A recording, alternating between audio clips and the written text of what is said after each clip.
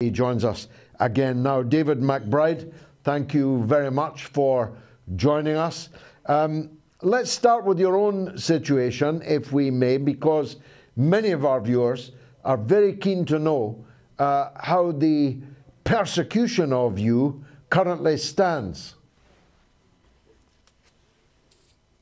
Still going ahead. I'm facing trial in September uh, and a jury trial probably in 2023. We are making significant inroads. Uh, I've got a documentary about my life coming out quite soon, which I think will help build support. And uh, there is a big defamation case going on where one of the soldiers accused of war crimes ended up suing the newspapers and uh, for calling him a war criminal. But now about 20 witnesses have come in and said he's a war criminal.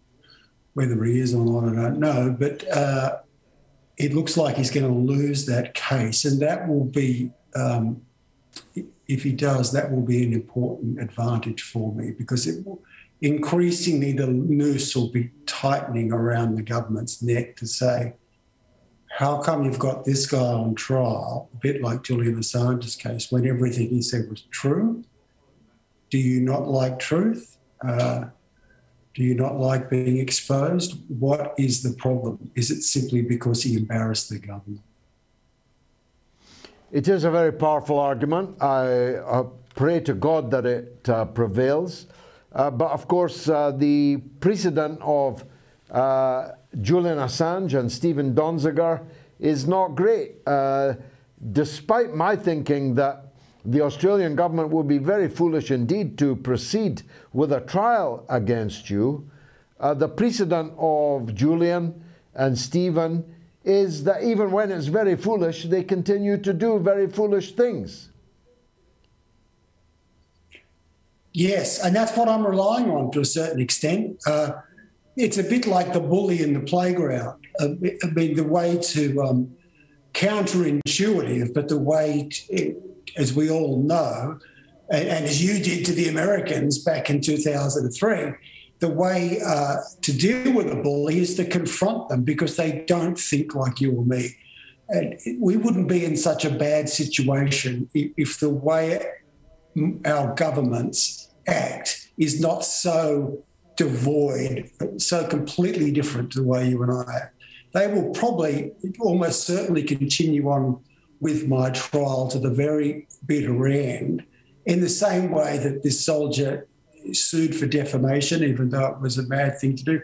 We had another politician who sued for defamation over some serious allegations. And again, it blew up in his face. And you would have thought any rational person would have said, don't go there. You've got so many skeletons in your closet. But they don't think like that. And the government, they may drop the case on the court steps because they will be very worried about generals having to come in without their spin doctors, without their friendly newspaper editors, and actually answer the very hard question Did you know about the war crimes? And if not, how is that not incompetence? And if so, etc., uh, etc. Et now, uh, everyone watching will wish you uh, well in your case. How can people help you? How can they stay in touch with what's happening on the case?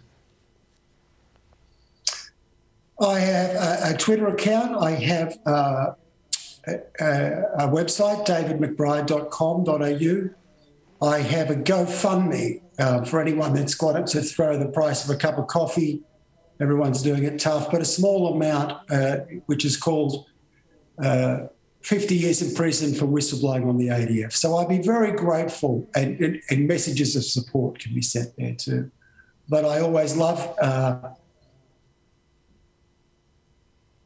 on your program. I know your viewers uh, know what's really going on in the world, and uh, it's always great to see you.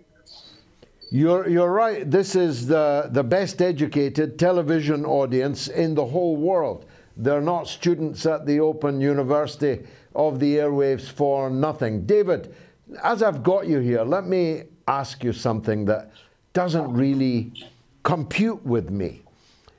I see Australia almost daily threatening China on behalf of a power at the other end of the world, whilst China is your neighbor. And, and Australia is not remotely in a position to fight China. China is your major trading partner. Why has this Australian government allowed itself to be a kind of cat's paw against China? what's going on there? Uh, look, I totally agree, George. It is it, it is embarrassing for me as an Australian, uh, and my grandparents and parents would be ashamed too. We fought to keep Australia independent. We are now a, a totally owned subsidiary of the United States. There is no Australia as far as foreign uh, affairs goes anymore. We joined the war in Afghanistan on exactly the same day as Americans. We left the war in Afghanistan on exactly the same day as the Americans. The funny thing is, they still maintain some sort of facade of independence. It's a joke. We, we, are, we are not independent of, of the US anymore. It's very apparent in relation to China it was only about three years ago that we were, as you said, had very close relations with China. Chinese naval ships sailed into Sydney Harbour and docked at our naval. They docked at our naval, uh, you know, docks. Uh, nothing major has changed since then, except the Americans, Pompeo and his buddies, have told us we have to hate China so now we hate China because we've been told to. And even though it was it was crazy for us because they were our biggest trading uh, partner, and they suddenly went to being an enemy. And it's all right for the Americans because they're the Americans' natural trading enemy, but they were our natural trading partner. And this is why our government has sold our people down the river. We have lost so many trading opportunities with China and for what? To make the Americans happy. And no one kind of thinks about it. The point of American foreign policy is to make America richer. It's not to make Australia richer.